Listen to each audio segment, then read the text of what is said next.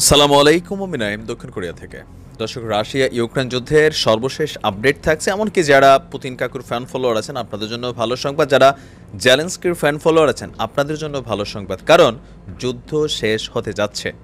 আসছে ঐতিহাসিক ঘোষণা। মোটামুটি আমরা শিওর হইতে পারি যে এই ঘটনার পরেই যুদ্ধ শেষ করে দিবে ভ্লাদিমির পুতিন। এখন কি সৈন্য সংকটের কারণে না অর্থ সংকটের কারণে? বাট যেই বিষয়টাকে শর্ত দিয়া তিনি যুদ্ধ শেষের ঘোষণা দিয়েছেন, সেটা সম্ভবত আগামী দুই চার দশ দিনের মধ্যে হয়ে যাবে। তার মানে আমরা আশা করতে পারি অক্টোবরে রাশিয়া ইউক্রেন যুদ্ধ শেষ হতে যাচ্ছে, নতুন করে যদি কোনো ঘটনা না ঘটে। দর্শক, পূর্ব ইউক্রেনের বৃহত্তম শিল্প শহর হচ্ছে দনেস্ক।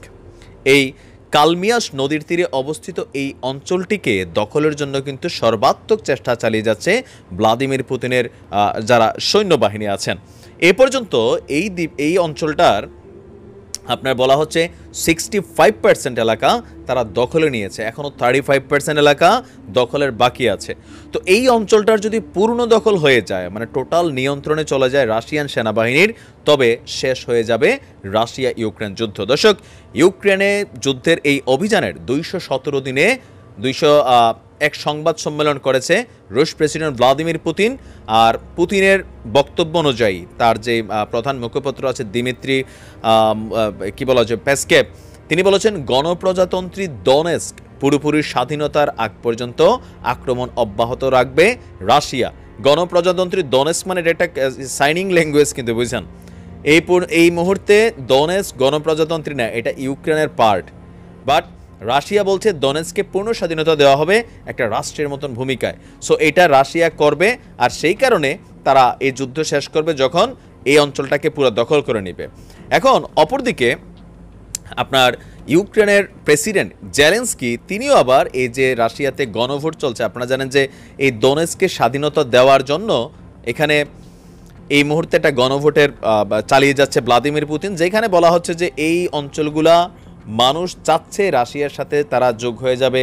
আটানব্বই পার্সেন্ট ভোট হয়েছে বাট ইউক্রেন প্রেসিডেন্ট জেলেন্সকি বলছেন যে রাশিয়ার এই সিদ্ধান্তে তিনি নতুন সতর্কতা জারি করেছেন। তিনি বলছেন, যদি অস্ত্রের মুখে ভুয়া গণভোটের মাধ্যমে ইউক্রেনের এই অঞ্চলগুলোকে বিচ্ছিন্ন করে রাশিয়া নিজেদের সাথে যুক্ত করতে চায় অথবা রাশিয়ার করাতলভুক্ত মানে রাশিয়ার আওতাভুক্ত কোনো একটা কি বলা যে নাটকীয় রাষ্ট্রে পরিণত করতে চায় তাহলে খুবই পাল্টা কঠোর পদক্ষেপ নেবে আপনার ইউক্রেন। রাশিয়ার মুখপাত্র দিমিত্রি পেসকোভের বক্তব্যের পরেই আপনার এই বক্তব্য আসছে ইউক্রেন প্রেসিডেন্ট জেলেন্সকির। তিনি বলছেন যে এইসব ভোট বেসিক্যালি মূল্যহীন। এগুলা বাস্তবতা পরিবর্তন করবে না। ইউক্রেনের অখণ্ডতাও নিশ্চিত করা হবে। যদি রাশিয়া এইসব গণভোটের স্বীকৃতি দেয়, তাহলে আমাদের পক্ষ থেকে নতুন নতুন কঠোর পদক্ষেপ নেওয়া হবে।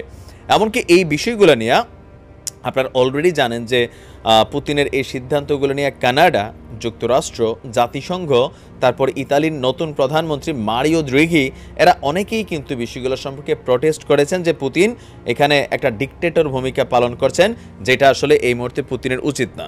তবে রিয়েকশনের দিক থেকে শান্তির দেশ, যেটা আমরা চিনি কানাডা কানাডার যে প্রধানমন্ত্রী আছেন, ভদ্র মানুষ, আমি খুবই পছন্দ করি, অমায়িক মানুষ, জাস্টিন ট্রুডো। তিনি এক বিবৃতি দিয়েছেন, বিবৃতিতে রাশিয়ার উপর নতুন করে এই ভোটের কারণে, এই শুধুমাত্র যে গণভোট চালাচ্ছে সেটার কারণে নতুন করে নিষেধাজ্ঞা আরোপ করা হচ্ছে।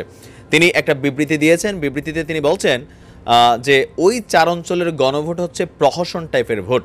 কানাডা কখনোই ওই গণভোটের ফল বা রাশিয়ার ইউক্রেনের ভূখণ্ড দখলের প্রচেষ্টাকে স্বীকৃতি দেবে না।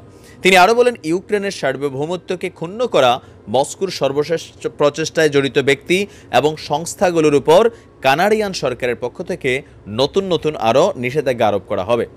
দর্শক, আপনারা জানেন যে এই ভোটের বিষয়ে ইউক্রেন প্রেসিডেন্ট জেলেন্সকির বাহিরেও আপনার আরও যারা বক্তব্য দিয়েছেন তাদের সবার বক্তব্যই আবার নিন্দা করেছে রাশিয়ার পররাষ্ট্র মন্ত্রণালয়, স্বরাষ্ট্র মন্ত্রণালয়। তারা বক্তব্য দিয়েছে যে এগুলো আসলে রাশিয়ার বিরুদ্ধে উস্কানিমূলক অ্যাক্টিভিটিস রাশীয় প্রয়োজনে সমুচিত জবাব দিবে।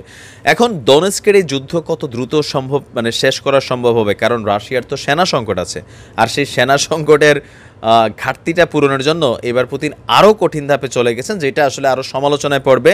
রাশিয়ার ভেতরে পুতিনের যে জনপ্রিয়তাটা ছিল, সেটাকে মাটিতে নামাই দিবে বলে আমার ধারণা, কিন্তু পুতিন তো ঝুঁকবে না। দর্শক, আপনারা জানেন যে নিজের দেশের জনগণের উপর পুতিনের একটা নির্দেশনা আছে, মোটামুটি যুদ্ধে যাওয়া বাধ্যতামূলক একটা সিচুয়েশন তৈরি করে ফেলছে। তো ওই সিচুয়েশনে আপনার অনেক যুবক, প্রায় দুই লাখের বেশি মানুষ আপনার রাশিয়া ছেড়ে কিন্তু পালিয়েছে, এটা সত্য। হান্ড্রেড পার্সেন্ট সত্য। আমি নিউজগুলো যেটা দেখছি, হয়তো সংখ্যাটাই দিক সেদিক হইতে পারে।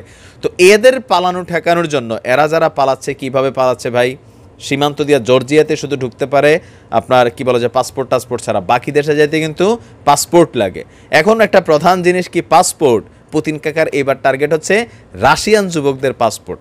যাদেরকে যুদ্ধে যাওয়ার জন্য চিঠি পাঠানো হচ্ছে, তাদের পাসপোর্টই জব্দ করার প্রসেসিং চলছে। পুতিনের আংশিক সেনা সমাবেশের ডাকে আপনার রুশ নাগরিকদের যে উল্টা সিদ্ধান্ত আসছে বা সেটাতে সাড়া দেয় নাই, এই কারণে খেপেছে পুতিন কাকুর সরকার। আপনার বুধবার একটি সরকারি তথ্য পোর্টাল বলছে, আর যেন কেউ নতুন করে রাশিয়া থেকে পালাইতে না পারে, সেজন্য সবার পাসপোর্ট জব্দ করার সিদ্ধান্ত নিয়েছে সরকার। সরকারি ওয়েবসাইটে লেখা হয়েছে, যদি কোনো নাগরিককে সেনাবাহিনীর চাকরির জন্য তলব করা হয় বা সমন জারি করা হয়, তবে তাকে সাথে সাথেই পাসপোর্ট জমা দিতে হবে। এটা তো একটা মানে বড় নেগেটিভ একটা সিচুয়েশন তৈরি করছে পুতিন। আমার মনে হয় যে পুতিনের যে কোনো মানুষ দিন শেষে তার ঘরের মধ্যে তার ভালো একটা অবস্থান থাকতে হয়। এতদিন পর্যন্ত পুতিনের যে সাপোর্টিং টাপোর্টিং ছিল, কিন্তু এখন এই ধরনের পাসপোর্ট জব্দ করা বা জোরপূর্বক যুদ্ধে নেওয়া সেটা আসলেই সমালোচনার বিষয়ে, আমরা অন্ধভক্ত না পুতিনের বুঝেন। যুদ্ধের হিসাবটা একটা বাট পুতিন তার দেশের ভিতরে যেটা করতেছে, সেটা অবশ্যই খারাপ, আর এটাতে পুতিনের তো একটা রাজনৈতিক দল আছে। হয়তো প্রশাসন ইউজ করা হচ্ছে এখন, সেগুলো ব্যবহার করা কতক্ষণ মানে তিনি তার সিচুয়েশন ধরে রাখতে পারবেন।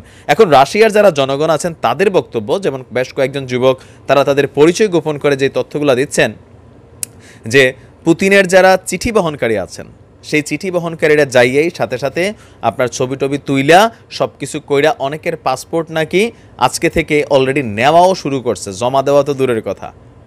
আর এখানে যাদের নাম আসছে, এর মধ্যে একজন ফুটবলার আছে, যে একজন ফুটবলার, রাশিয়ার নামি দামি ফুটবল তারকা, তারও কিন্তু যুদ্ধের চিঠি পাঠানো হয়েছে যুদ্ধ করার জন্য। পুতিন কিন্তু এমপিদেরকেও ছাড় দেয় নাই। যারা রাশিয়ার পার্লামেন্টে এমপি আছে, এদেরকেও কিন্তু যুদ্ধে যাওয়া বাধ্যতামূলক করছে। এখন এই সকল কিছু মিলাইয়া বিরোধী যে রাজনৈতিক শক্তিটা রাশিয়াতে আছে, তারা বলছে যে পুতিনের এই মুহূর্তে যে অ্যাক্টিভিটিস সেটা ওয়ান কাইন্ড অফ স্বৈরশাসক। এতদিন পর্যন্ত পুতিনের রাজনীতি ভিন্নভাবে সমালোচিত হলেও, এখনকার এই সিচুয়েশনটারই একটা ফায়দা যারা বিপরীত রাজনৈতিক দল আছে, তারা তোলার চেষ্টা করতেছে। কারণ রাশিয়াতে কিন্তু গণতন্ত্র বসবাস করে। যদিও এটা মাফিয়া দেশ, সত্যি সত্যি যেটা। তো এই বিষয়গুলো আবার আন্তর্জাতিক মাধ্যমে আপনার খুবই হিউজভাবে প্রচারিত হচ্ছে। অপরদিকে জর্জিয়ায় যে পাসপোর্ট ছাড়া যারা যাওয়ার চিন্তা করেছে, এদেরও কপাল খারাপ কারণ জর্জিয়ার সীমান্তে সেই দেশের নাগরিকরা আবার বিদ্রোহ করছে যেন কোনো রাশিয়ান মানুষ আর তাদের দেশে ঢুকতে না পারে, কারণ এরা সবাই পুতিনের দেশের নাগরিক। এখন দেখা যাক আসলে পরিস্থিতি কোন দিকে যায়। ভালো থাকুন, আসসালামু আলাইকুম।